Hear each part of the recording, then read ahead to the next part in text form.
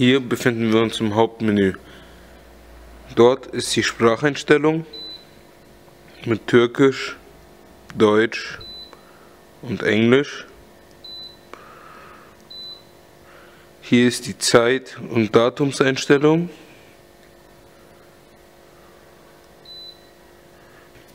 Hier ist die Lautstärke Aus- und Einschalter. Hier die Helligkeitseinstellung. Und hier noch die Kalibrierung. Nun kommen wir zu den drei verschiedenen Programmen. Als erstes gehen wir auf die R hoch 2 SM Einheit. Hier sehen wir auf der ersten Seite Programm 1 bis Programm 8 und auf der nächsten Seite Programm 9 bis Programm 16. Grün steht für aktiv und gelb steht für inaktiv. Kaltdrahtzufuhr, ein Start-Stopp-Knopf.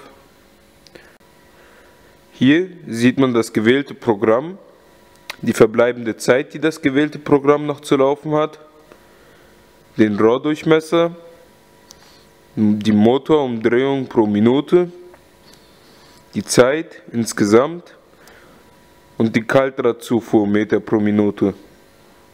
Programm starten und heften. Sie können die Programme 1 bis 16 beliebig ändern, indem Sie auf Programm ändern gehen geben Sie Ihre Daten ein.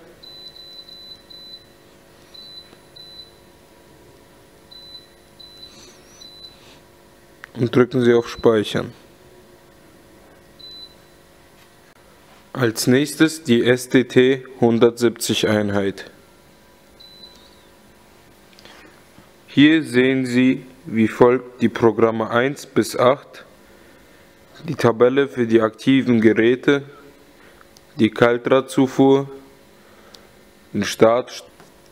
Hier sehen Sie das gewählte Programm, die verbleibende Zeit, die das gewählte Programm noch zu laufen hat, den Rohrdurchmesser, die Motorumdrehung pro Minute, die Zeit in Sekunden, die Kaltdrahtzufuhr Meter pro Minute. Programm starten, heften. Sie können die Programme 1 bis 16 beliebig ändern indem Sie auf Programm ändern gehen.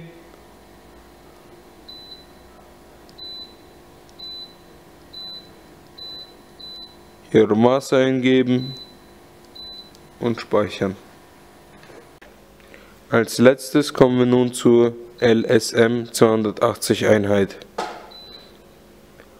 Auf der ersten Seite sehen wir wie folgt Programm 1 bis Programm 8 die Tabelle für die aktiven oder die inaktiven Geräte, die Kaltdrahtzufuhr, den Start- und Stopp-Knopf, das gewählte Programm, die verbleibende Zeit, die das gewählte Programm noch zu laufen hat, die Schweißlänge, die Motorumdrehung pro Minute, die insgesamte Zeit und die Kaltdrahtzufuhrmeter pro Minute. Programmstart heften. Sie können die Programme 1 bis 16 beliebig nach Wahl ändern, indem Sie auf Programm ändern gehen. Hier befindet sich die Tabelle. Ihre Eingaben machen, speichern. Hier sehen Sie die Kaltdrahtzufuhr Startverzögerung. Stoppverzögerung und die Verzögerung für die Linearführung.